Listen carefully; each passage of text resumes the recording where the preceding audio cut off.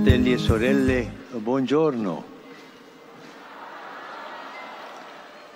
Nel Vangelo della liturgia odierna Gesù parla ai discepoli per rassicurarli da ogni paura e per invitarli alla vigilanza.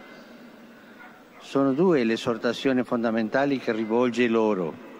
La prima è non temere, piccolo gregge. La seconda è siate pronti.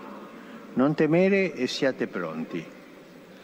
Si tratta di due parole chiave per sconfiggere le paure che a volte ci paralizzano e per superare la tentazione di una vita passiva, addormentata. Non temere e siate pronti.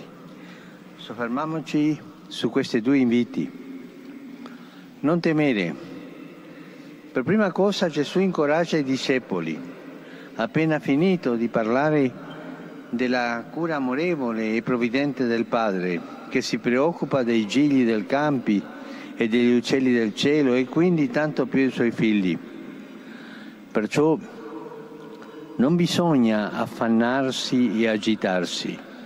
La nostra storia è saldamente nelle mani di Dio. Ci rincuora questo invito di Gesù a non temere. Talvolta, infatti, ci sentiamo imprigionati in un sentimento di sfiducia, di angoscia. E la paura di non farcela, di non essere riconosciuti e amati, la paura di non riuscire a realizzare i nostri progetti, di non essere mai felici e così via.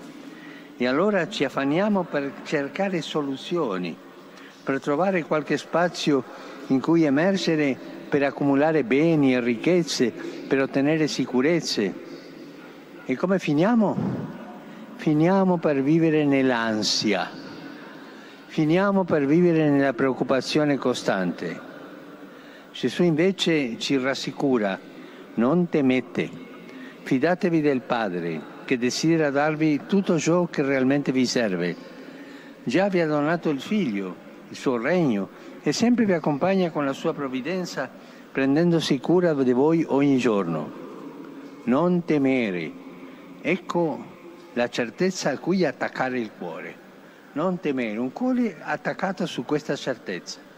Non temere.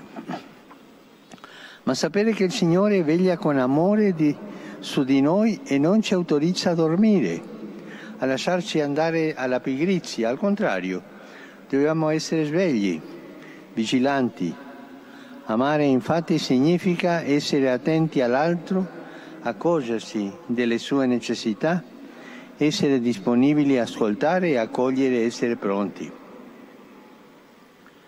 La seconda parola, siate pronti, è il secondo invito di oggi è saggezza cristiana.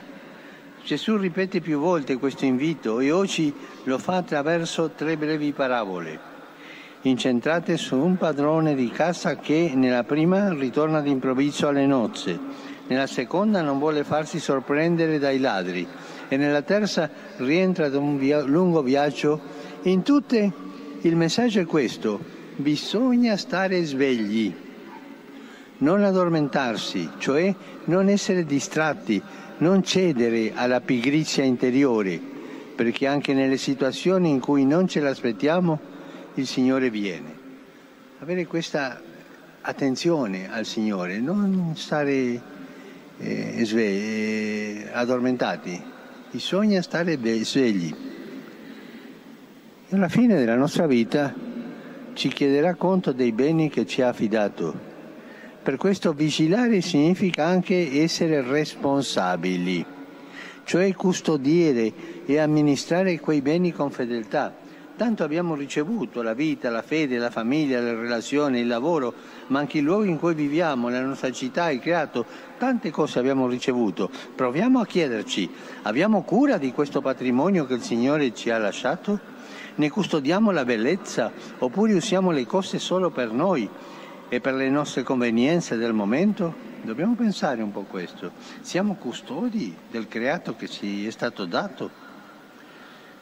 Fratelli e sorelle, camminiamo senza paura nella certezza che il Signore ci accompagna sempre e restiamo svegli perché non ci succeda di addormentarci mentre il Signore passa.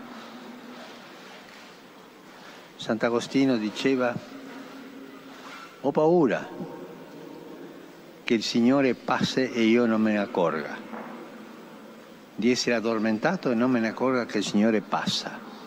State svegli. Ci aiuti la Vergine Maria che ha accolto la visita del Signore e con prontezza e generosità ha detto il suo eccomi. Angelus Domini, nunciavit Maria. et concepit de Spiritu Sancto. Ave Maria, grazia plena, Dominus tecum, benedicta tui mulieribus et benedictus fructus ventris tui, Iesus. Sancta Maria, Mater Dei, ora pro nobis peccatoribus, nunc et in hora mortis nostre. Amen. Ecce ancilla Domini. Fiat mi secundum verbum tuum. Ave Maria, grazia plena, Dominus tecum, benedicta tui mulieribus et benedictus fructus ventris tui, Iesus. Sancta Maria, Mater Dei, ora pro nobis peccatoribus, nunc et in hora mortis nostre. Amen. El verbum caro factum est.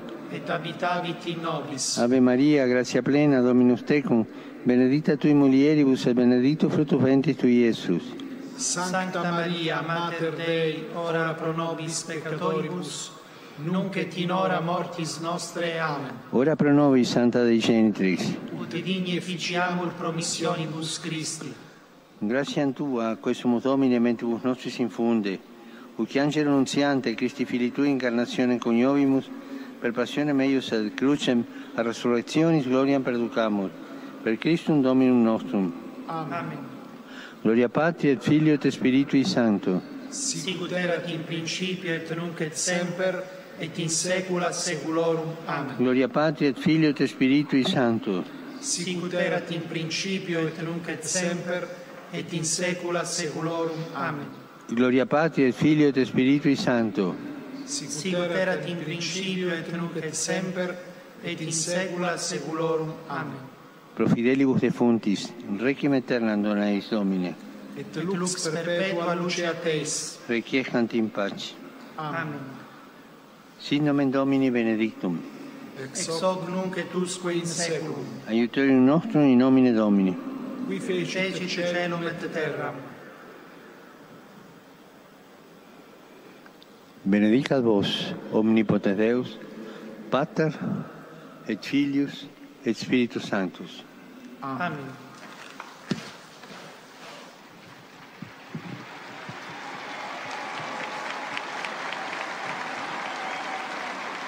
Cari fratelli e sorelle, desidero salutare con soddisfazione la partenza dai porti dell'Ucraina delle prime navi cariche di cereali.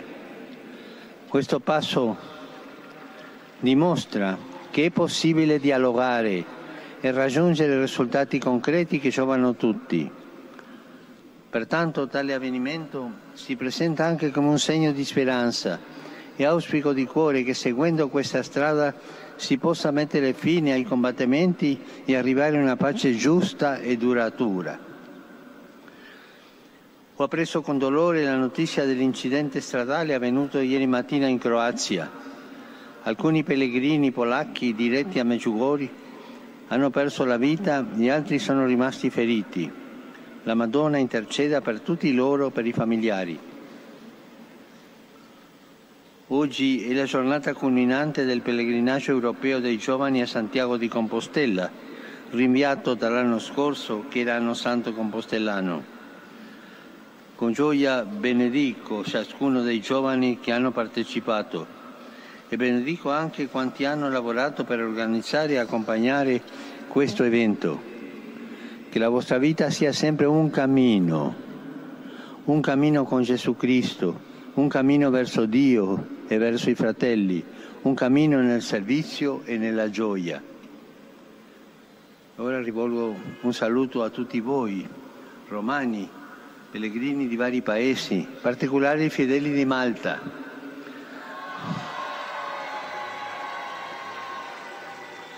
Saluto il gruppo di Crevalcuori, i giovani della diocesi di Verona e quelli dell'oratorio Don Bosco di Tolmezzo. Auguro a tutti una buona domenica. Per favore non dimenticate di pregare per me. Buon pranzo e arrivederci.